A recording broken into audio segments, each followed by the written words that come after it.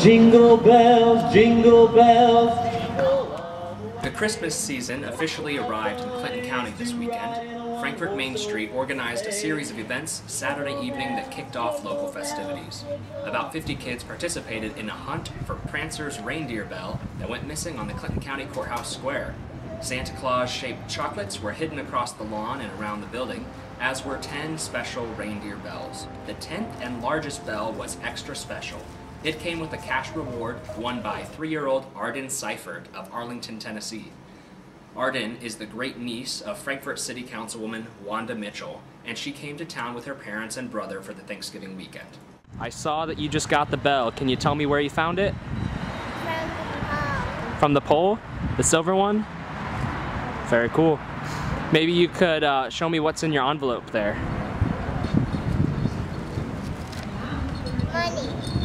How much money? A lot.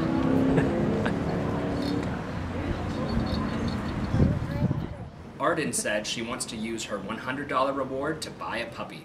Main Street Director Kim Stevens said Saturday's events provided a way to launch Christmas festivities a full week early. Santa does not come until the Christmas parade, but we wanted to light the tree earlier, and our book was The Polar Express was our story, and so we just decided that uh, that you know we had to figure out a way to get the kids down here ahead of time for the for them to hunt for the bells.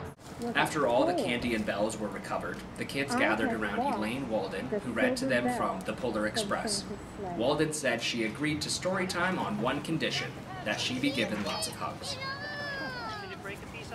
Frankfort Mayor Chris McBarnes led the families gathered in a few Christmas carols before he fired up the multicolored lights on a large tree on the courthouse lawn.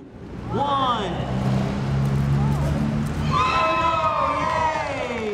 All in all, Stevens said, planning the event was well worth the work. I'm extremely pleased. I think it went really well for our first event like this, and um, I think it's probably going to become a tradition. It sounds like. For a full story, pick up a copy of Monday's edition of The Times.